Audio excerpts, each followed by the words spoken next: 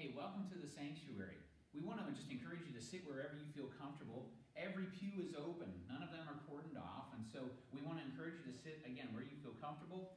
And uh, we're not going to be enforcing social distancing, but we want to encourage you to consider social distancing. So be careful about handshakes and hugs and just the distance you are away from people when you're talking. Uh, we're going to be encouraging you to kind of gather outside before and after the service uh, for those kind of group gatherings instead of doing that here in the sanctuary or the foyer.